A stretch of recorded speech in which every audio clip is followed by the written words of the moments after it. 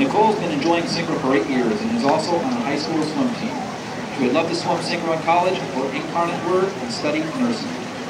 Nicole and Vincenza are swimming their duet to Brazilian stomp music.